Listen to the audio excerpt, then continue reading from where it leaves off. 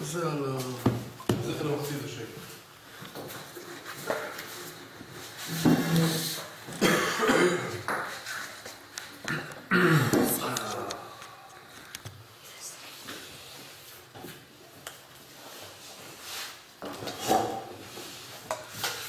אז אנחנו בבן איש חי, הלכות פורים, עמוד קי"ח, בסעיף ט'.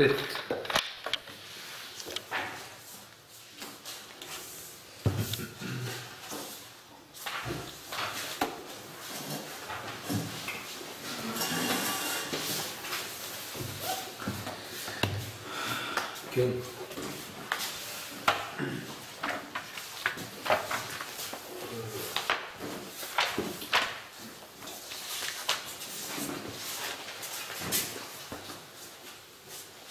בוא, אביאל.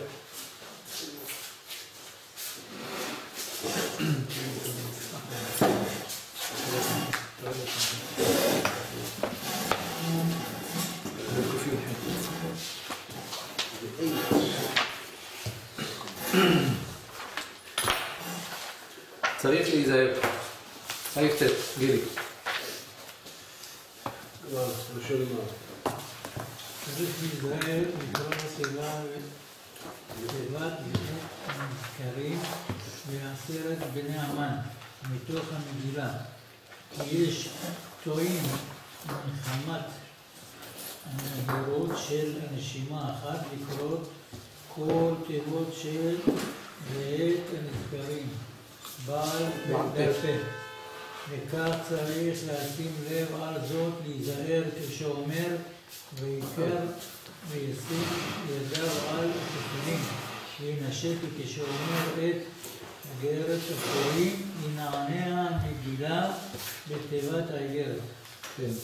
צריך להיזהר כשאומרים ואת 500 איש ואת פרשנדתה ואת דלפון ואת אז צריך להיזהר להגיד כי הרי הוא מסתכל על זה, הוא צריך להגיד את כולם בנשימה אחת אז כיוון שהוא אומר את כולם בנשימה אחת אז הוא אה, מזדרז כאלה אין להם מספיק אוויר. קודם כל זה לכתחילה, בשפות אומרים שאם הוא בדיעבד לא אמר בנשימה אחת, יצא ידי חובה. זה לא מעכב. רק לכתחילה, טוב להגיד את זה בנשימה אחת. אבל לא רק להגיד בנשימה אחת, גם כשהוא אומר פרשנדתה ואת דלפון ואת אספרטה ואת... אז כולם אתה צריך להגיד, תסתכל על הואת שלו וככה. לקרוא את זה. כשאתה קורא, בעל פה. כן, כמו לא יפה מאוד. רק שיש הבדל בין ספר תורה לבין, אה, לבין מגילה. שבמגילה, בדיעבד, אם הוא קרא על פה עד חציה, פחות מחציה, זאת אומרת, קצת פחות מחצי, יצא ידי חובה. לכן אם בדיעבד הוא, ברוב המהירות הוא קרא ככה, את הוות הוא קורא בעל פה בלי להסתכל, או שהוא קורא אבל הוא לא שם לב בכלל של מה זה, כי הוא יודע שהמילה הבאה תהיה ואת, אז באופן כזה יצא ידי חובה. זה בדיעבד. לכתחילה, טוב לקרוא כל מילה מהזה. יש הרבה קוראים של קורא מגילה, שהוא קורא את המגילה כבר זמן, שהוא הכין אותה טוב. אז בזמן שיש תחלופה של אה, עמוד, אז הוא קורא גם מה תהיה המילה הבאה. גם אם אתה מגיע למטה, בפרט אם זה מגילות של המלך, יש מגילות שכל המילה הראשונה, כל מילה הראשונה זה המלך. כל מילה ראשונה. אז אתה קורא, כשאתה מסיים למטה, אתה יודע שהמילה הבאה תהיה המלך. אז אם קרא בעל פה, יצא את החובה. אתה רואה שהבעל קורא, קרא בעל פה, את המלך הוא קרא, הוא עוד לפני שהוא מסתכל, הוא, הוא אומר כאן המלך. משנה, יצא את החובה. לכתחילה טוב להסתכל, כל מילה ומילה לקרוא מבפנים. גם מוציא לידי חובה, את הקהל? מוציא את החובה, כן. לכן, זו הסיבה גם כן, שאם אדם לא שמע איזה משהו בגלל שהיה איזה רעש, אז לא שמעת איזה פסוק אפילו, אז תקרא את הפסוק הזה מתוך החומש. אבל זה נקרא שאני קורא בעל פה. נכון שזה זה חומש, זה לא נקרא שזה כתוב. כתוב, הכוונה היא כתוב בקלף, עם דיו. אז כשאתה קורא מתוך חומש, זה לא נקרא שאתה קורא מתוך מגילה, נכון. אבל כמה אתה קורא מתוך החומש? פסוק אחד, רק בשביל להשלים את ה... להדביק את הפער בינך לבין הבעל קורא. אז זה לא נקרא שאתה קורא בעל פה, שאתה לא יוצא, באופן הזה מותר וככה צריך לעשות. אם אדם פספס איזה מילה, שתי מילים, אפילו פסוק, שני פסוקים, פספסת בינך לבין הבעל קורא, היה רעש או משהו, אז תדביק את הפער הזה על ידי הקריאה שאתה קורא מתוך חומש עד שתגיע אליו, ואז תמשיך לה- להקשיב. אה, לא לקרוא. לא לקרוא. כשאתה שומע ממנו, לא לקרוא. תשמע ממנו. כי לך אין, אין, אין לך מגילה כשרה, יש לך חומש. לא, ממש זה... צריך שיהיה מגילה כתובה, בקלף ובדיו. חומש זה נייר ודפוס. זה, זה, זה לא דיו שהוא דיו מיוחד בספר תורה, שעושים אותו בשביל אה, כתיבת ספר תורה ומגול, ומזוזות ומגילות. אז לכן, ולמה בפרשת שבוע צריך לקרוא בחומש? שניים מקרא ואחד תרגום, לא, לא, בכלל.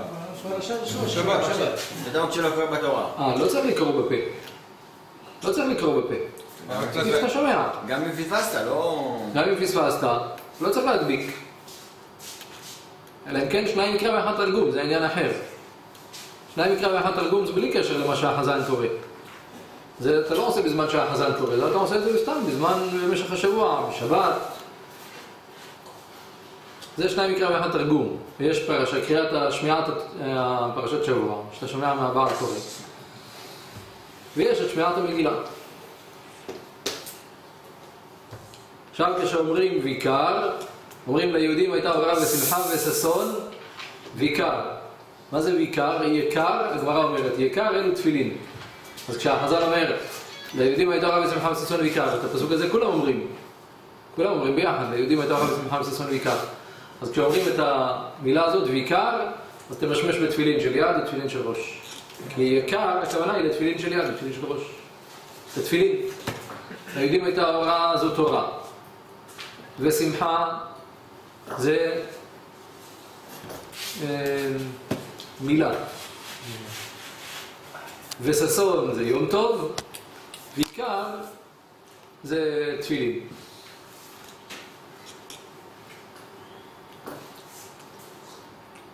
וכשאומרת איגרת הפורים, מנענעים את המגילה. מי שיש לו מגילה כשרה, זה איגרת הפורים, כי המגילה נקראת איגרת. לכן פושטים אותה לפני כן, פושטים אותה. רואה שהוא, קוראים אותה ככה, כאילו זה איגרת. לא, אתה לא קורא אותה ככה כמו בספר, שזה גלול. זה, זה איגרת, איגרת הפורים הזאת, השנית. ואם יש בה מילה אחת פסולה? גם כן, בדיעבד כשר. אה. לא מחליפים. כשר.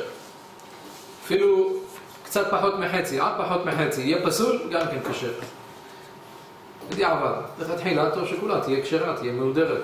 לא, את האמת אף פעם לא ראיתי שהחליפו. כן, כאילו. זה פחות חמור מאיזה. אה, כן? אבל זה יכול להיות פחות חמור מאיזה.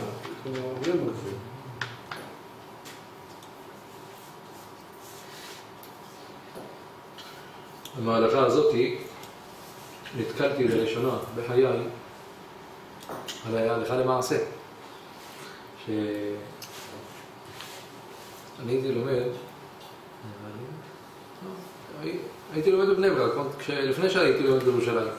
הייתי לומד בבני ברק ורצינו לנסוע פעם לירושלים. אז היה לי, אחי הגדול היה לומד בירושלים, בישיבה. אז אני ואחי הקטן אמרתי, בוא ניסע ליל פורים, אה, מוצאי פורים כבר, לנו זה מוצאי פורים, להם- הם עכשיו יש להם קריאת מגילה, כן?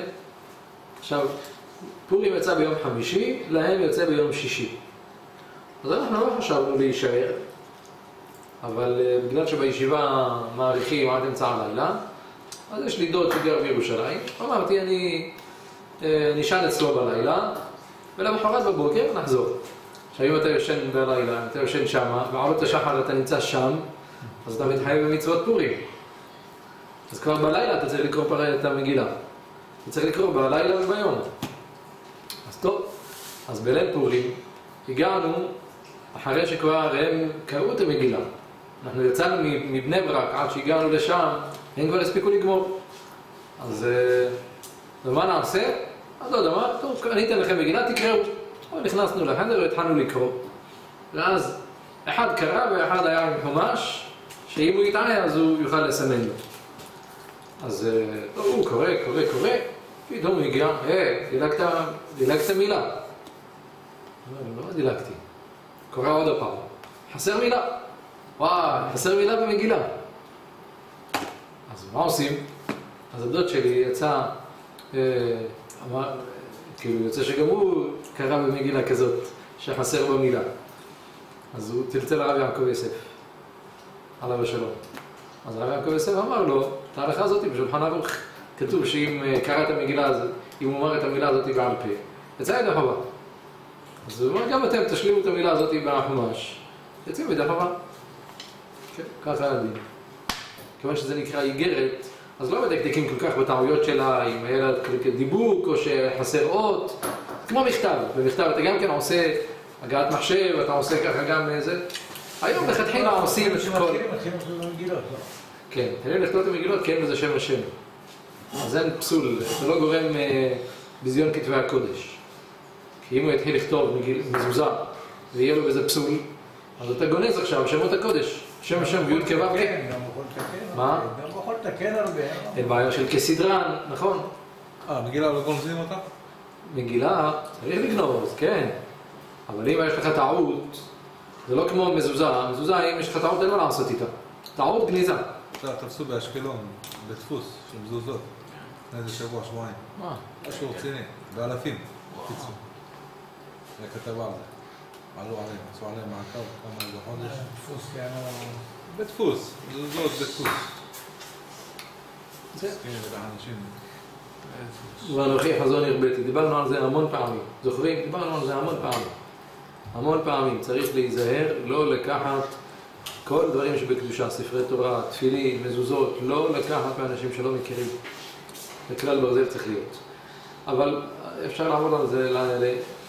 אני לא יודע. גם אם המחיר הוא... יש הבדל גדול, זאת אומרת שיש בעיה. בוודאי. אנשים שלא מבינים. רוצים זה. יש אנשים- זה. יש אנשים- בלי- שגיאות בדפוס. איך? אם משכפלים בדפוס, אז זה אחד עם שגיאה, כל אלה עם שגיאה, זה פשוט... אנשים מחפשים היום יותר חיזור. זהו, אין מה לעשות. אז הוא שומע שיש מזוזה ב... גם- השפעים, גם השפעים פתאום אותו מחיר, אנשים לא לא מודעים לזה. הוא לא הוא לא יודע לפעמים... זה כמו- אה, תפילין וטלית וסידור והכל, כן. 500 שקל. כן, כן, המבצעים האלה. זה תפילין פסולות א' א'. אני ראיתי פרסומת של פאר הקודש עשה ב-1200. יש פרסום בעיתון קבוע. כולל הכל. כן, אבל זה בדרך כלל. זה אה, זה לא לא. מכסה, זה לא... לא הדפסה, אה, מכובדת. זה לא הדפסה, אבל זה לא תפילין מהונדרות. נותן לך. זה תפילין של סופר מתחיל. לפעמים יש גם סופרים שכותבים עם אה, ככה מכנס קצר וגופייה, והוא שומע רדיו ברקע והוא יושב וכותב. ואת זה אתה, בן אדם צריך לשים את זה על הראש שלו בזמן שהוא אומר שמע ישראל. לצערנו הרב. אז מה זה פסול? זה לא פסול, אבל אתה מחפש לשאול קדושה. אחר כך אנשים אומרים, אני לא מרגיש שאני עושה כלום. בטח שלא תרגיש. איך תרגיש? אתה להרגיש, אתה צריך שמישהו יכתוב. אני דיברתי עם איזה סופר. מישהו הזמין, ביקש ממני שאני אזמין תפילין. אז הזמנתי לו, וזה קצת התעכב. אז דיברתי עם הסופר, למה זה מתעכב? אמר לי, תראה, שלושה שבועות, היה לו איזה ניתוח קטן שהוא היה צריך לעשות באוזן. אומר לי, אני לא כותב, יום שאני לא טובל, אני לא כותב. בשלושה שבועות היה לו איזה ניתוח באוזן. אז הוא, אה, אה, ניתוח קטן, הוא צריך לחכות עד שזה יתרפא, אסור לו לטבול, זה חשש לזיהום. אמר, שלושה שבועות לא כתבתי. אז אני בפיגור. לא, נסע משמיים, אני לא לא אכתוב אם אני לא טובל כל יום. אה, חייב. אין הלכה בשולחן ערוך שצריך לטבול. אבל זה הידור, זה, זה מראה לך יראת שמיים. אז זה מגלה לנו, בגלל שבתפילין ובמזוזה, אם כתבת את המזוזה, הגעת לשורה האחרונה, פתאום אתה רואה שלמעלה יש לך איזה טעות, אסור לתקן. עכשיו, הסופר הוא יכול לתקן, ואתה לעולם לא תדע. והתפילין האלו פסולות נכון. דאורייתא. אין מישהו שמכשיר אותם. עכשיו, מה שעומד על המשכן זה היראת שמיים שלו, ואיך אני יכול לדעת? אתה לא יכול אתה לא לדעת. יכול לדעת. אתה לא יכול לדעת. אתה קונה? לא, אתה צריך... לא יכול לדעת. אתה צריך לדעת יראת שמיים.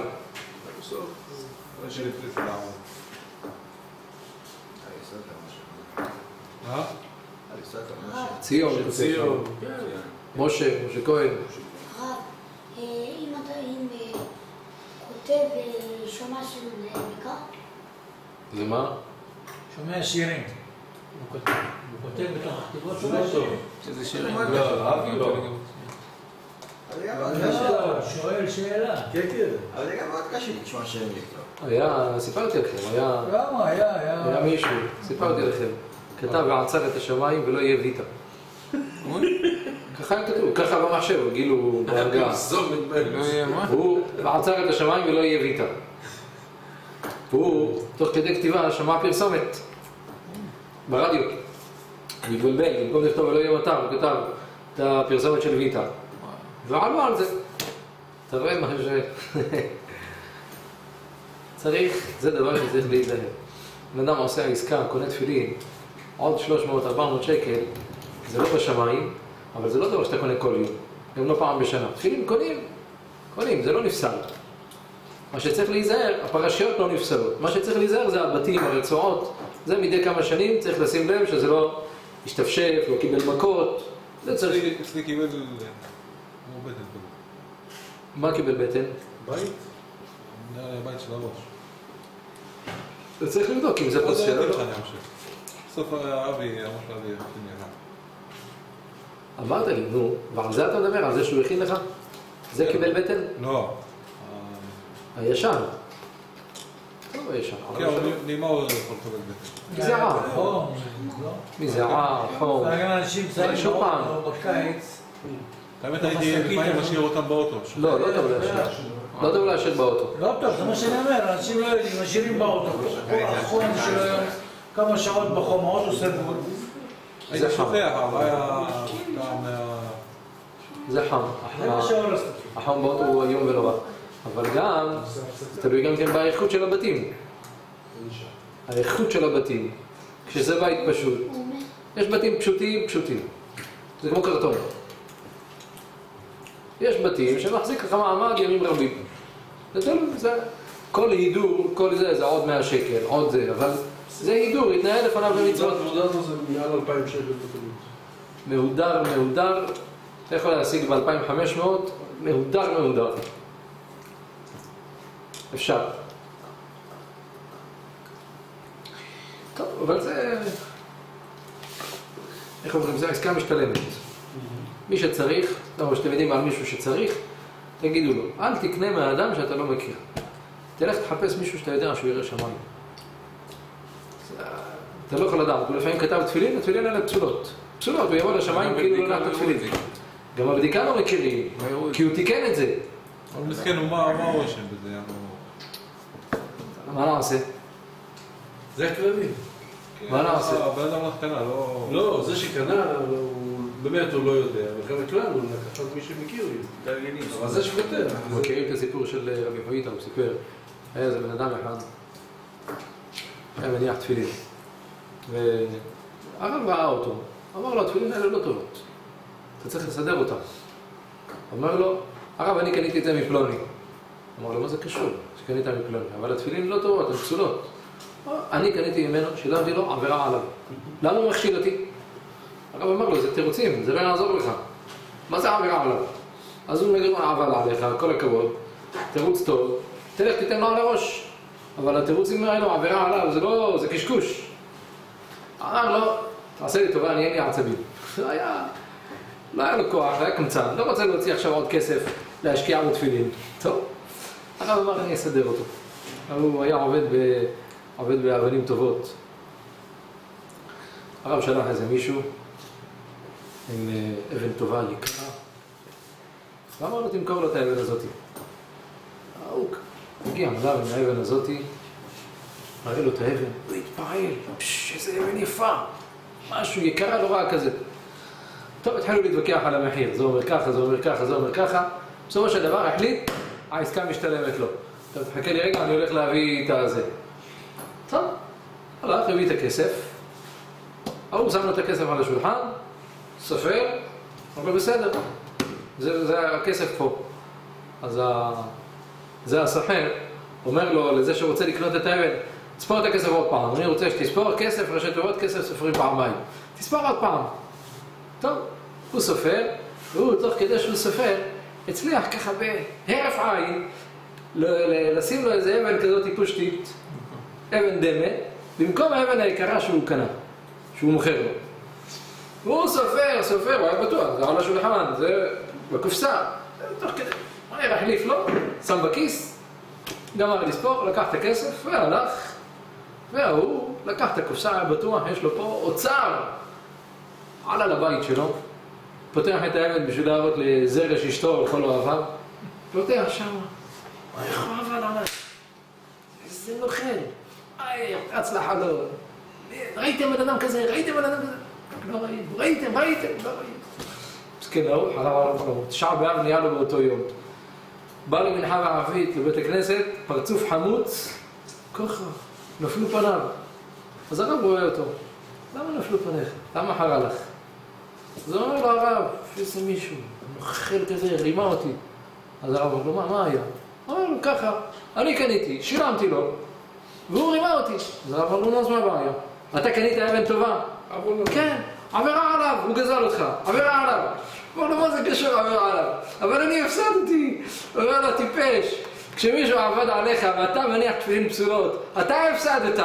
נכון עבירה עליו, אבל אתה הפסדת. אתה מפסיד יום יום. הלך קרא לו את האדם. אמר לו, תחזיר, תחזיר לו, הוא הבין את המסר. עבירה עליו זה נכון, עבירה עליו. הוא ישלם את החשבון שלו, החשבון שלו גדול בגיהינום. טוב, נחזור לעניין שלנו. בכל אופן צריך להיזהר. כבר המשנה ברורה צעק על זה, משנה ברורה בסימן ל"ב בהלכות תפילין, אז הוא כותב, יש כאלו שהם, שהם אה, חושבים שהם אה, רוצים ללמד את הנערים, אז הוא אומר מלמדים נערים, בהתחלה מלמדים אותם רק לתייג, אחר כך גם לכתוב, זה... הוא כותב, יושב כותב עכשיו מזוזה, שעתיים ישב, כתב, כתב, סיים לכתוב, פתאום, אז זה עדיין דיו טרי, וזה קורה המון, פתאום, מריחה של דיו, על הלמעלה. זה דיו טרי, זה נמרח לו קצת. אות אחת אפילו, לא צריך שתי אותיות. אות אחת, תשין למעלה, נמרח לו שמה, זהו, מזוזה לך. שעתיים עבודה לפח. אין מה לעשות עם זה. הוא יכול למחוק. אומן יודע יכול למחוק, לסדר את זה בצורה יפה. גם סופר אומן אחר לא ידע שהוא מחק. לא יעלו על זה, הוא יודע למחוק יפה, הוא יכול. נו, מה עומד לו פה כנגדו? ירד שמיים. הוא ירא שמיים, הוא לא יעשה את זה. הוא לא יחשיב את האנשים. הוא יזרוק את זה ככה לגניזה. אבל אם הוא לא ירא שמיים, הוא יגיד, מה, שעתיים עבדתי, טוב, יום כיפור אני אבקש סליחה מהשם. הוא ימכור את זה ככה. ובן אדם שם את זה בבית, זה פתח בלי מזוזה. זה לא נקרא מזוזה. אחר כך בן אדם... למשל פה, פה אין מזוזה. פה זה בית מדרש. בית מדרש. לא חייב במזוזה. אה, ושמנו פה. רק מה נעשה? שועלים ק- קטנים, חבלים קרמיים. כבר שלוש פעמים לקחו לנו את המזוזה. אפשר לשים בפנים, לא? איפה נשים את זה? צריך לשים בחוץ, בפתח. הם צריכים לשים בעובי של המשקוף. צריך לעשות אותו בחוץ אה, לארץ, זה בתוך הבטון. כן, הם עושים פעם, עם שרופל זכוכית, צריך לשאול אותו מזוזה, ואתה רואה את החוק הזה גם של המזוזה. לצערנו הרב. טוב. הלאה, סעיף י'. י' זה יוסף.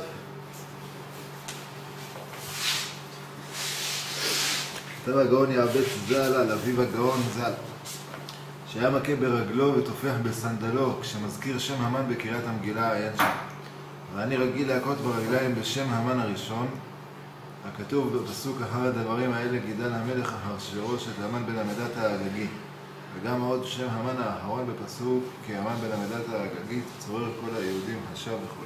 יפה מאוד. אז גאון יעבץ כתב, אבא שלו, החכם צבי, היה מכה ברגליים, ככה. זהו. גם אצלנו עושים את זה. ככה מכים ברגליים. מזה נשתרדל במנהג וכבר התחילו לפוצץ אותו את המן. אז כן, נראה לי התחרט על הרגע שהוא גזר את הגזירה הזאת.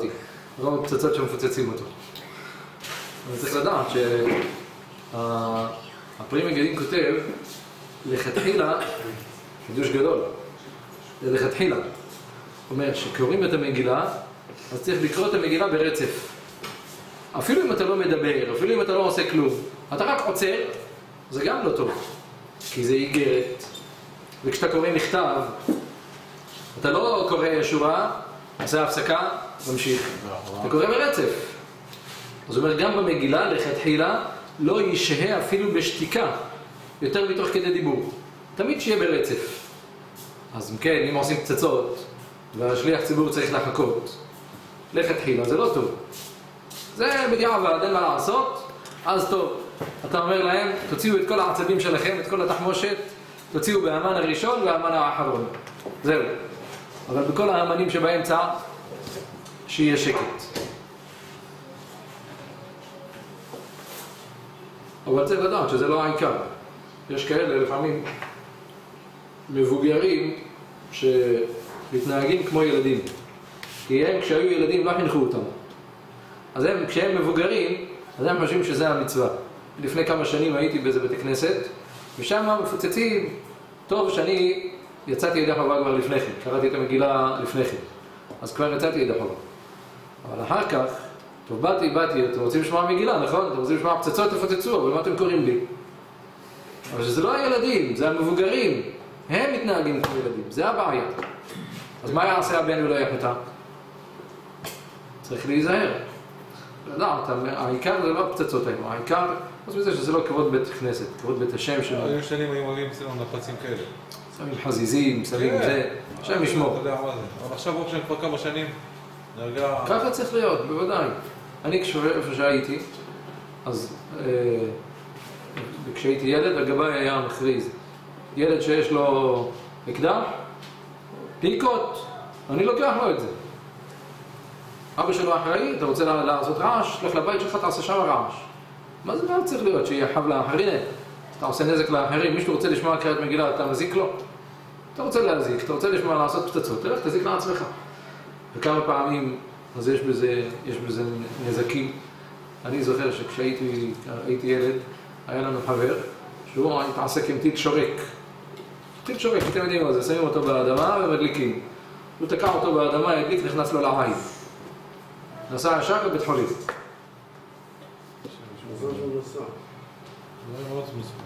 היה בירושלים איזה אדם אחד, מסכן. אז בן אדם, בן אדם אחד הדליק חזיז, זרק, זרק מהבית שלו חזיז, ונעלם בחלום. זה למטה, פגע לאישה ליד האוזן שלה, התפוצץ לו ליד האוזן, היא איבדה את השמיעה שלה. איבדה את השמיעה שלה, היא לא שומעת.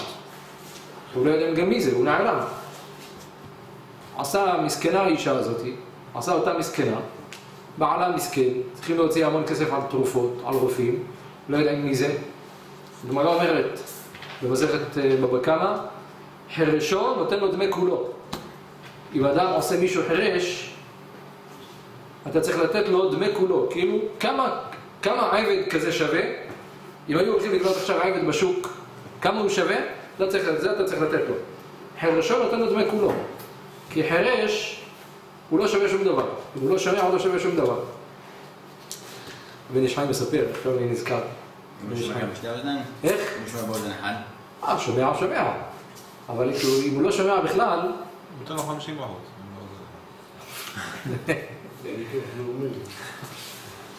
איש חיים מספר, היה פעם אחת איזה בן אדם אחד שהיה חירש והוא היה הולך, היה הולך ל... ל... לשמור על הכבשים שלו. היה הולך לשמור על הכבשים שלו עד אמצע, ככה במקום ירעה, וחוזר בחזרה. נמצא שם עד הערב. בשעות הצהריים, אז אשתו הייתה באה, מביאה לו ככה ארוחת צהריים, איפשהו, ב... ביער, וחוזרת. זה היה המנהג שלהם. הוא היה חירש, הייתה הולכת, מביאה לו כל יום ארוחת צהריים. פעם אחת,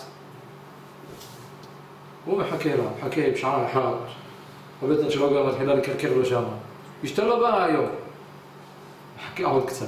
הגברת לא באה, הוא החליט, טוב, אני עוזב את הכבשים והולך. אבל הוא היה לו שכל, מה אני אעזוב את הכבשים ככה, יבוא זאב, יבוא אריה. אז הוא חיפש מישהו, מסתכל ככה באופק, מחפש, מסתכל, מצא מישהו, הלך אליו, אמר לו, תשמור לי על הכבשים, אני הולך. עכשיו, המסכן ההוא גם לא היה שומע.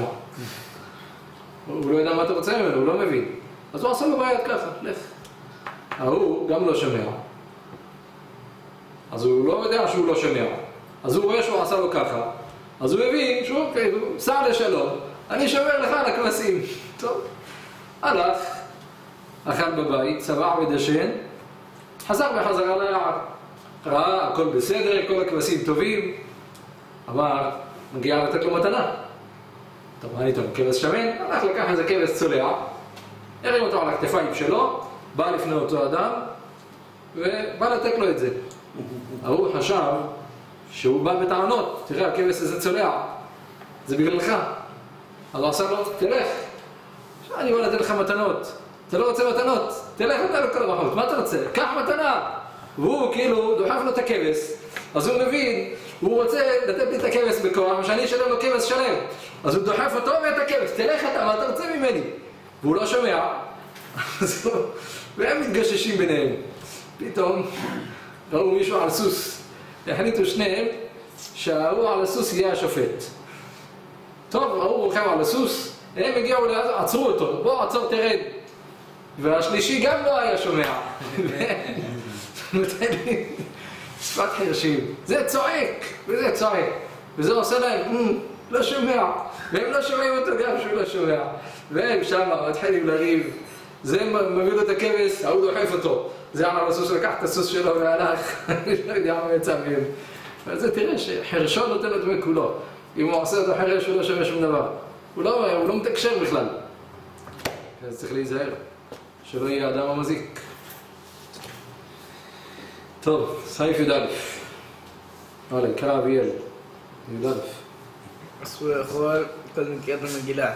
אם יש לאדם מגילה כשרה שקורא בה לעצמו בבית הכנסת, בית השליח ציבור קורא- שם בשביל הציבור, וזה אם הוא רוצה לתת את זה בברכה של שליח הציבור, אלא יצא לברך לעצמו. רשאי, רק לבדך בלחש, וכאשר העליתי בספרי הקדוש עשר פעלים, בסייעתא דשמיא. כן. אסור לאכול לפני קריאת המגילה. צריך להזהיר גם בבית את הנשים, אסור לאכול לפני קריאת המגילה. מה זה אסור לאכול? מה אסור לאכול? גם בבוקר וגם בערב. השנה, בערב, אז בטח זה בעיה, בגלל שעדיין לא עושים הבדלה. אסור לאכול לפני, לפני הבדלה. סתם, במוצאי אין שבת. צום, אז זה בכלל גם לא בעיה. השנה אין צום, אז זה לא בעיה. כן. אנשים... אבל נשים למשל, אישה בבית, רוצה לאכול, אין לה, לא שמעה עוד קריאת המגילה, גם ככה אסור לה לאכול לפני הבדלה, אלא אם כן היא תעשה הבדלה. ואם היא עושה הבדלה, אז מותר לה לאכול רק טעימה, לטעום. לטעום הכוונה היא מיני מזונות, מותר, אבל פת, אם היא רוצה לאכול לחם, עד קבצה. עד 54 גרם פת מותר לאכול. זה אם היא רוצה לאכול לחם. רוצה לאכול פירות, ירקות, לשתות, זה השתייה כדת אין אונס, שתשתה כמה שהיא רוצה. אין הבדל בין גבר לבין אישה. לאכול לש... לפני קריאת המגילה, אין הבדל בין גברים לבין נשים. גם גברים צריכים לשמוע מגילה וגם נשים צריכים לשמוע מגילה. אין הבדל. וצריך להיזהר לא, לא לאכול לפני קריאת המגילה, כיוון שזה גורר. בן אדם, איך אנחנו אומרים, שינה באכילתם. אדם שהוא אוכל, אחר כך הוא האכל מביא את השינה.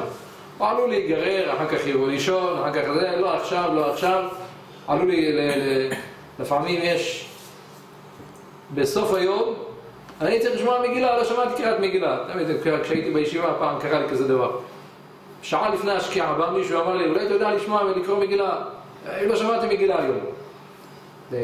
חמש, חמש וחצי, הוא נזכר שהוא לא שמע מגילה. חמש וחצי בצהריים, עוד חצי שעה שקיעה. עכשיו אתה נזכר, בוקר טוב לך. אז זה צריך להיזהר, לא לאכול לפני קריאת המגילה. מה זה נקרא לאכול? אמרתי, אכילת קבע. לאכול זה אכילת קבע, שבן אדם יושב עכשיו על צלחת, אכילת קבע, זה אסור. אבל אם זה רק לאכול חתיכת עוגיה עם נס קפה, זה מותר.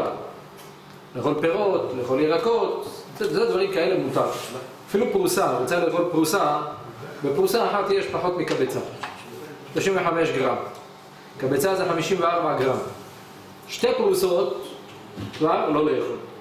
בן אדם שיודע, למשל, בן אדם קרא לו נתקע עם קריאת מגילה בבוקר. לא שמע את קריאת מגילה בשבע, בשמונה. אז הוא מחכה עכשיו לגואל שיגאל אותו. ובינתיים הוא רעב.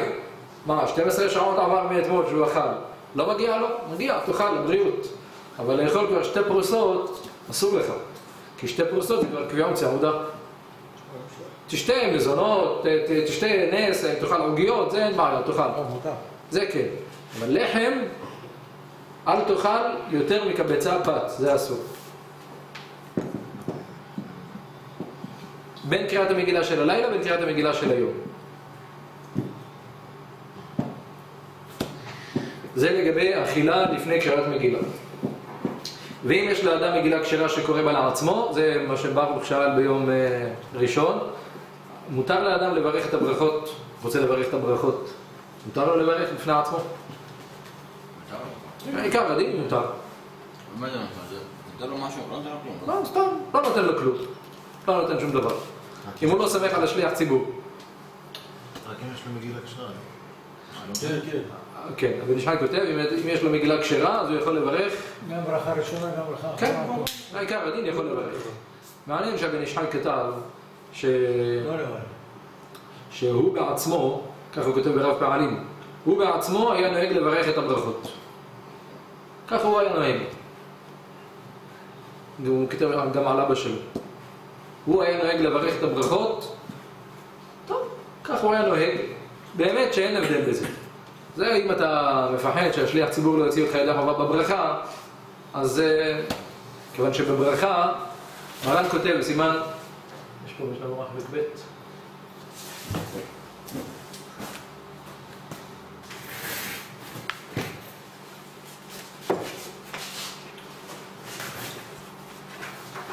שולחן ערוך בסימן רי"ג מרן כותב, תראו איזה לשון כזאת אין יוצא ידי חובתו בשמיעת הברכה אפילו יענה אמן אלא אם כן שמע אותה מתחילתה עד סופה ונתכוון לצאת ידי חובה. והמברך מתכוון גם כן להוציא ידי חובה. אבל אם אתה שמעת את הברכה ולא התכוונת לצאת ידי חובה או שהתכוונת, אבל הוא לא כיוון לצאת אותך ידי חובה, אתה לא יוצא ידי חובה בברכה, אתה צריך לברך. אז אם אתה מפחד, אולי השליח ציבור הזה הוא ככה, לא, לא מכוון להוציא ידי חובה, שלא יעלה להיות שליח ציבור. אז זה בעיה בשבילו, עוד פעם, זה כמו שאמרנו מקודם, עבירה עליו, אבל אנחנו איך מתמודדים עם זה? אז אתה צריך לברך. אז לכן צריך, אם זה חזן טוב, שהוא בקיא, קורא כבר כמה שנים, הוא יודע, גם בדרך כלל היום אומרים, אני מתכוון להוציא ידי חובה בקריאה ובברכות. אז הוא אומר מפורש, אני מתכוון להוציא ידי חובה, אני תמיד נזהר להגיד את זה בלי נדר, אומר, אני מתכוון להוציא ידי חובה בקריאה ובברכות, והציבור התכוונו לצאת ידי חובה. הוא אומר ברשות מוריי ורבותיי, משהו כזה. כן, פשוט מורה ורבותיי, זה תיתנו לב, שימו לב. זה כמו ש... חינמי, הוא מכוון, בבקשה, בסדר? טוב, מצוין. טוב, מצוין, אבל זה צריך לדעת, כי זה מעכב. מרן כותב, לא יוצאים ידי חובה בברכה, אלא אם כן מתכוון, גם אתה מתכוון לצאת, והוא מתכוון להוציא אותך. כי כשהוא מברך, זה כאילו שאתה מברך. כשאתה חושב, המחשבות שלכם עכשיו הן ביחד. אתה חושב להתכוון, לצאת, והוא מתכוון להוציא אותך ידי חובה. אז אתם ביחד חושבים, וביחד זה נקרא כאילו אתה בירכת.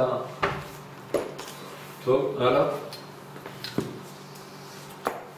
טוב.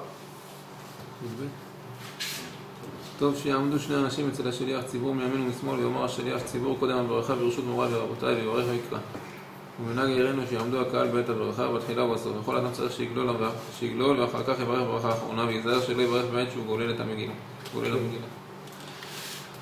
טוב, לעמוד שני אנשים זה דבר טוב, לא חובה, אבל טוב שיעמדו שני אנשים מימין ומשמאל, והנה, זה מה שאמרת, להגיד ברשות מוריי ורבותיי, ומנהג, המנהג שלהם היה שהם עומדים, בזמן הברכה הם עומדים. ואחר כך יברך, בזמן הברכה האחרונה, אז מי שיש לו מגילה, לא לגלגל את המגילה ולברך. פעם, לפני כמה שנים הייתי באיזה בית כנסת של מרוקאים, אז יש שם איזה מישהו שהוא, אני לא יודע מאיפה הוא יביא את המנהג הזה. אני קראתי את המגילה. אז הוא רצה שאני אגלול ויברך. למה הוא אומר לי מנהג המרוקאים שגוללים ומברכים? אני לא יודע מאיפה הוא הוציא את המנהג הזה. גם אם יש, גם אם הם עושים ככה, אולי הם לא נזהרים. מברכים תוך כדי. אבל מי אמר שצריך לעשות בכוונה, דווקא לעשות כזה מנהג, זה מי אמר. זה כמו הבית כנסת ההוא שהיה מעקל כל היום מתכופפים. היו מתכופפים נזהרים שלו שלא יתקעו במעקה, נשאר המנהג הזה. לא יודע אם זה מנהג. הוא המציא שזה מנהג. טוב. אבל אתה צריך להיזהר שלא לעשות, לא בזמן שמברכים לא מתעסקים. לפעמים בן אדם שבשעה שהוא אה, רוצה לברך אה, ברכות השחר, רוצה לסדר את התפילין שלו, כבר לסדר את הרצועות של התפילין או משהו. בזמן שמברכים, זה לא טוב שאתה תתעסק באיזה עסק. אתה מברך עכשיו, ברוך אתה השם, זה לא זמן. טוב, הלאה, סעיף ג' הקורא יחיד יברר גם ברכה האחרונה של המגילה כנזכר בברכי יוסף, עיין במועד לאכול חי, סימן ל"ה, ל"א, עוד ק"ח, יעיין שם. וכן המנהג פה בירינו וכן ראוי לנהוג בכל מקום ולא יאבד היחיד ברכה יקרה זו. יפה מאוד.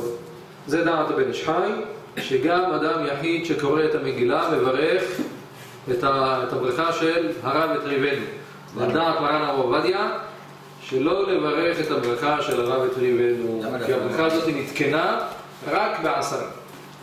ברכה הראשונה זה כמו כל ברכת המצוות, אבל ברכה האחרונה נתקנה רק במניין, רק בעשרה, ולכן לו יהיה לה ספק, ספק ברכות להקל. ולא לברך. ככה דעת מרן הרב עובדיה, והוא היה אומר את זה קבוע. ברכה האחרונה, לא לברך ביחיד.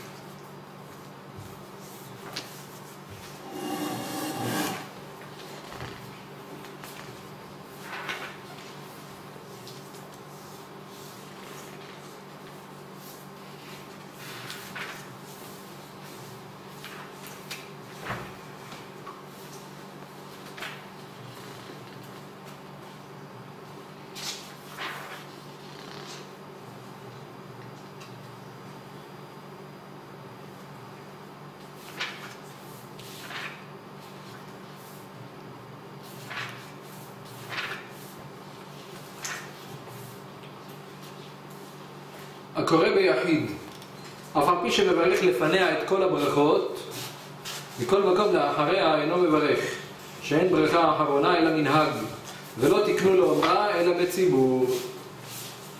וכן המנהג בירושלים, וכן יש להנהיג בכל מקום. ומי שמברך ברכה האחרונה של מגילה כשאין עשרה, הוא מכניס את עצמו בספק ברכה לבטלה ואין עונים אחריו אמן. אם אדם נמצא בקהל ומברך, איך? אם- אם אדם נמצא בקהל ומברך, אה, בסדר, זה חובת הקהל. לא, הוא מברך לעצמו. זה לא נקרא לעצמו, הוא שמע ביחד עם כולם. ביחיד הכוונה היא שאתה נמצא במקום שאין מניין. הלאה. אבנר, אפשר לך את ט"ו. איזה? ט"ו, ט"ו? כן. חייב כל אדם לתת שתי מתנות לשני עניים לפחות. וכל המרבה, ברוך יהיה. והשיעור הוא, אם נותן אוכל, צריך שיהיה בו שלוש ביצים, שהם ארבע וחמישים. דירה. ואימהות, שיעור שיקנה שלושה ביצים, מפת. ואפילו עני המתפרנס בצדקה חייב במתנות לאביונים. פרק חדש, פוטרו. פרק חדש פוטרו. כתוב בספר התורה לשמה שיכול לאביון אחד לתת לאביון חברו, וזה, וזה גם כן חוזר ונותן לחברו. זה מצוות מתנות לאביונים, מצוות היום. כל אדם חייב לתת שתי מתנות לשני עניים, לפחות. וכל המרבה, ברוך יהיה. כמה מתנות לאביונים צריך לתת? צריך ש- מתנות לאביונים. מתנה לאביון, מתנה לאביון. זה מה שצריך לתת. זאת אומרת, שתי מתנות, לכל אביון מתנה. לשני אביונים ביחד זה שתי מתנות. לשני אנשים. אחד לזה, אחד לזה. כמה צריך לתת? אז הבן איש חי כותב, אם אתה נותן אוכל, היו נותנים לפעמים לעניים, שולחים להם, שולח לו את כל מה שהוא צריך לסעודה, מצוין, יכול לצאת בזה ידי חובה. אבל אם אתה נותן כסף, אז שיעור שהוא יכול לקנות בזה שלוש, שלוש קבצה, אה, שלוש ביצים מפת. זאת אומרת, קבצה זה, קבצה זה 54 גרם, אז כפול שלוש, 162. 162 זה בערך, תגיד, שתי לחמניות. זה השיעור של מתנות לאביונים שמעיקר הדין חייבים לתת. מנה פלאפל. מנה פלאפל, אפילו פחות. זה אפילו חמש שקל, חולמת. כן, אפילו פחות, זה מה שאני אומר. אפילו פחות. מצד הדין, מעיקר הדין, מתנות לאביונים, אתה יכול לתת אפילו שני שקל לצד ידי חובה. צריך לתת רק ביום? מה? לתת רק ביום עצמו? אפשר לתת מוקדם? אתה יכול לתת את זה לפני כן ולזכות את זה. זאת אומרת, אני מזכה את זה לאביון ביום פורים. אה, אז אפשר לתת מהיום... אה, אבל לתת מהיום, ואתה אומר, אני מזכה את זה לאביון ביום פורים. זאת אומרת, זה פיקדון. אני מניח את זה אצלך כפיקדון, ביום פורים אני מעביר. עכשיו, ב... אפילו אני המתפרנס מן הצדקה חייב במתנות לאביונים, וכתוב בספר תורה לשמה שיכול אביון אחד לתת לאביון חברו, וזה גם כן חוזר ונותן לו. שני אביונים, שני, שניהם תפרנים, אז אחד נותן לשני, השני ייתן לו. הוא גם צריך לתת מתנות לאביונים, והוא גם זה צריך לתת. טוב, תיתן לו. שהם יכולים לתת אחד לשני. הגמרא אומרת שהיום עושים את זה. מה שעושים גם בישיבות. איך? בישיבות. היום עושים את זה עם משלוח מנות. משלוח מנות, למי אני עושה משלוח מנות? משלוח מנות הכי ממודר זה אוכל. אז אני מכין מנה אוכל, כאילו לעצמי, ואני נותן את זה לחבר שלי. משלוח מנות. והוא מכין לי גם כן. צלחת של אוכל, מה שיש, בישיבה, מה שהיא נותנת. הוא מביא לי משלוח מנות. יוצאים מזה ידי חובה. רבי חיים פלאצ'י כותב, כמה מתנות לאביונים צריך לתת? הוא אומר, תראה כמה כסף אתה מוציא על משלוחי מנות ועל סעודת פורים, ככה תיתן על מתנות לאביונים. מתנות לאביונים צריך לתת, גם כן, הגמרא אומרת שעיניהם של עניים נשואות למקרא מגילה. העיניים שלהם לראות מתי יהיה מקרא מגילה, כי הם יודעים שבמקרא מגילה גובים כסף, ואז הם מקבלים. אז בזמן הזה, זה הזמן שהם מרוויחים, זה הזמן שטוב להם. עיניהם של העניים נשואות למקרא מגילה. טוב, אשרי האדם שעושה מעשיו לשם שמיים, אשרי האדם שבאמת זוכה לתת לעניים הגונים, ומעשיו מרוצים לפני הקדוש ברוך הוא.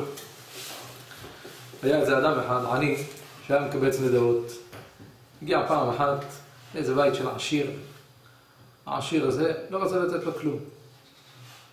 אמר ככה, אני מברך אותך שתהיה כמו אברהם, יצחק ויעקב. איזה ברכה. איזה ברכה. בוא, בוא, כנס הבית, קבל, הוציא לו. אמר לו, איך זה באמת, לא נתתי לך כלום, אתה מברך אותי כאלה ברכות. אמר לו, אני ברכתי אותך שתהיה נע ונד כמו אברהם אבינו, שיכהו עיניו מרעות כמו יצחק, ושיהיה צולע על ירחו כמו יעקב. זה השלום ברכות. לא רוצה לתת כלום, זה מה שמגיע לו. מגיע לך כוס על לא בכבוד הרב. עיניהם של העניים נשואות למקרא מגילה. טוב, ברוך אדוני לעולם אמן ולאמן. רבי חנינא בן הקשיא אומר, צא יתברכו לזכות את ישראל.